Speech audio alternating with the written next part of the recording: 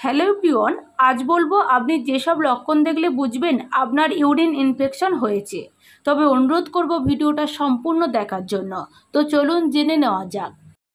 আপনি যদি আমার চ্যানেলটাকে এখনও সাবস্ক্রাইব করে না থাকেন, তাহলে এই ভিডিও নিচে লাল সাবস্ক্রাইব বোতামটি ক্লিক করে চ্যানেলটাকে সাবস্ক্রাইব করুন আর পাশে থাকা বেল আইকনটি অবশ্যই অন করে রাখুন। প্লিজ ফ্রেন্ড, এখনই সাবস্ক্রাইব করুন।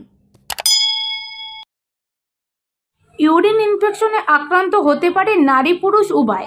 তবে এই সমস্যায় নারীরা বেশি ভুগে থাকেন। দীর্ঘদিন এ রোগে আক্রান্ত হতে থাকলে মৃত্যু ঝুঁকি বাড়ে। কারণ মূত্রনালী থেকে ইনফেকশন কিডনি পর্যন্ত ছড়িয়ে যেতে পারে। এতে কিডনি বিকল হতে শুরু করে। সম্প্রতি বোল্ড গার্ল খ্যাত মার্কিন অভিনেত্রী ও মডেল দীর্ঘদিন ইউরিন ইনফেকশনে ভুগে পঁয়ষট্টি বছর বয়সে মৃত্যুবরণ করেছেন। তার নাম তানিয়া রবার্টস। এরপরও দুনিয়া জুড়ে ইউটিআই রোগটি নিয়ে বেশ শোরগোল পড়েছে। বিশেষজ্ঞরা এ রোগে আক্রান্তদের আরও সতর্ক হওয়ার নির্দেশ দিয়েছেন। নারীরাও ইউটিআইতে ভুগে থাকেন। কারণ দীর্ঘ সময় পটি ও প্রস্রাব চেপে রাখার ফলে নারীরা নানা রকম শারীরিক জটিলতার মধ্যে পড়েন। চিকিৎসকরা বলছেন, শুধু নারীরা নন, পুরুষরাও ভুগতে পারেন মূত্রনালীর সংক্রমণ সহ নানা ধরনের জটিলতায়।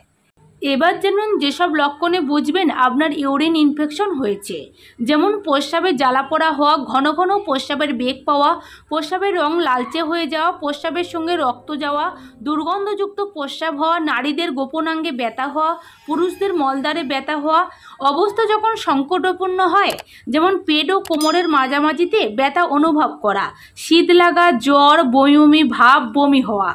এবার বলতে পারেন কেন হয় ইউটিআই? এক ধরনের ব্যাকটেরিয়া গঠিত সংক্রমণ হলো ইউটিআই বা মূত্রনালীর সংক্রমণ। এ রোগের জন্য দায়ী হলো অ্যাসেডিয়াকিয়া কোলাই ব্যাকটেরিয়া। যদিও রোগটি অন্যান্য ব্যাকটেরিয়া বা ছত্রাকের কারণেও হতে পারে। শারীরিক গঠন, যৌন মিলন, বহুমূত্র রোগ, অতি স্বল্পতা এবং বংশগত ধারার কারণে ইউটিআই হয়ে থাকে। প্রাথমিকভাবে এ রোগের লক্ষণ হিসেবে প্রস্রাবে জ্বালা পোড়া ও ঘন ঘন প্রস্রাবের বেগ হয়ে থাকে।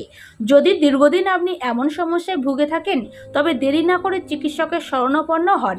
অনেকের ক্ষেত্রে উপসর্গগুলো অস্পষ্ট থাকে, তাদের জন্য রোগ নির্ণয় কঠিন হয়ে পড়ে। এবার আপনারা বলতে পারেন এর জন্য করণীয় কি হতে পারে। বলব প্রচুর পানি ও তরল খাবার খেতে হবে। ব্যক্তিগত সুরক্ষা বজায় রাখতে পাবলিক টয়লেট ব্যবহারে সতর্ক থাকুন। অপরিষ্কার পোশাক পরবেন না। নিয়মিত স্নান করতে হবে।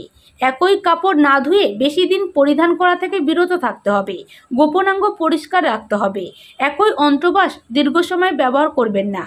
প্রতি বছর প্রায় পনেরো কোটি মানুষ মূত্রনালীর সংক্রমণে আক্রান্ত হয়ে থাকেন। পুরুষদের তুলনায় নারীদের মধ্যে এই সংক্রমণ বেশি দেখা যায়। ষোলো থেকে পঁয়ত্রিশ বছর বয়সের মধ্যে এই সংক্রমণের হার বেশি।